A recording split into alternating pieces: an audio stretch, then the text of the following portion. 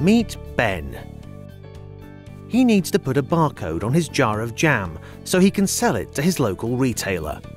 He's a member of GS1 UK, so he has a unique GS1 company prefix, and from this, he's created a unique number or GTIN to identify his jam.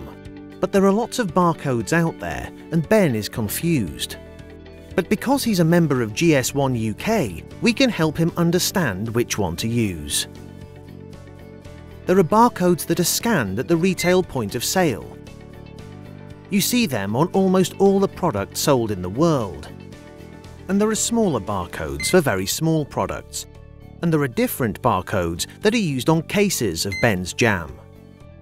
There are even barcodes that are used to help Ben and the retailers he trades with track and trace his products through the supply chain. At GS1 UK, we work with the industry to develop these barcodes so we can help Ben choose the right one and we can help him feel confident that his barcodes will be scanned everywhere by making sure he follows the correct rules for colours, size, placement and quality. So Ben can be sure his jar of jam can be sold by any retailer anywhere in the world. Which means Ben can concentrate on more important matters, like growing his business.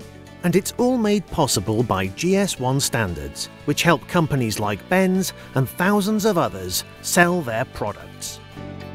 To see how GS1 standards can help your business, contact us today.